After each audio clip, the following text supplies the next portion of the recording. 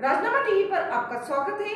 मैं प्रिया, आपके साथ। पाकिस्तान से नेपाल के रास्ते भारत आने वाली सीमा गुलाम हैदर को वहाँ के आतंकी संगठन पाकिस्तान लौटने को कह रहे हैं। सोशल मीडिया पर एक वीडियो वायरल हो रहा है। दावा किया जा रहा है कि यह वीडियो बलूचिस्तान के किसी आतंकी संगठन ने जारी किया है।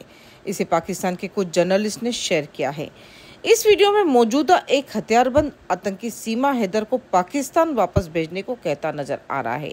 आतंकी धमकी देता है कि अगर सीमा और उसके चारों बच्चों को पाकिस्तान को नहीं सौंपा गया तो इसका अंजाम पाकिस्तान में मौजूद हिंदुओं और दूसरे गैर मुस्लिमों को भुगतना होगा। इधर सीमा का दावा है कि पबजी गेम के ज़रिए उसका संपर्क नोएडा में रहने वाले सचिन से हुआ। दोनों में प्यार हुआ। इसके बाद सीमा चार बच्चों को लेकर नेपाल पहुँची। वहाँ से बस के ज़रिए भारत आई और नोएडा में सचिन से शादी के बाद वहाँ 50 दिन से रह रही है। राज खुला तो सीमा और सचिन को गिरफ़्तार कर लिया गया।